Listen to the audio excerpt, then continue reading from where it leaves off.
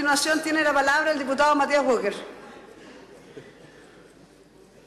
Muchas gracias, eh, Presidenta. Saludar a- al ministro del Interior y a su asesor, don Pablo Celedón, con el que trabajamos eh, en la Comisión de Seguridad, en la Mesa de Acuerdos por la Seguridad Pública que convocó el presidente Piñera y aprovecho de agradecer, pues nos invitaron a distintos diputados, senadores, alcaldes, desde el Frente Amplio hasta la UDI, porque en un plazo de 90 días elaboramos 150 propuestas en materia de seguridad.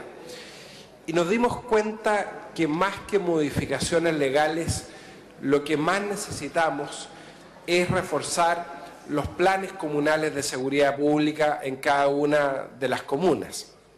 Yo le pido al ministro del Interior, así como el gobierno de la presidenta Bachelet le entregó mil millones de pesos a las comunas de La Serena, Coquimbo y Ovalle, para que los vecinos puedan presentar proyectos de alarmas comunitarias, proyectos de luminarias, de recuperación de espacios públicos que puedan volver a tener los municipios y los vecinos de los municipios recursos para estos proyectos, así como tuvimos el proyecto Comuna Segura, el gobierno de la presidenta Bachelet, y que se aplique una de las 150 conclusiones de la mesa de seguridad en el sentido que los stop de carabineros guarden concordancia con los planes comunales de seguridad pública y que los recursos estén destinados precisamente ahí donde hay más denuncias.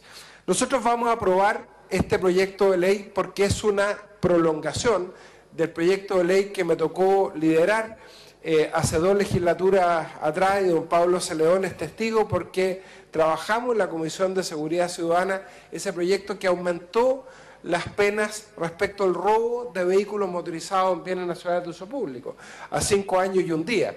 Entonces, no es cierto lo que dijeron algunos diputados que vienen recién llegando, que no estudian los proyectos, que acá las sanciones sean bajas. Nosotros ya aumentamos la pena del robo de vehículos motorizados a cinco años y un día.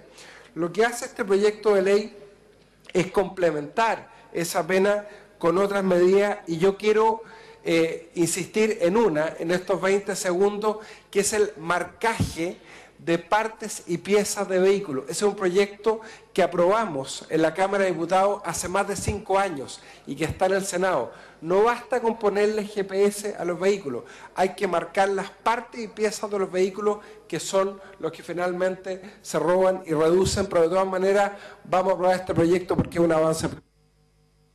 Muchas gracias, diputado. Desgraciadamente le terminó el tiempo. Tiene la palabra el diputado Fensalida.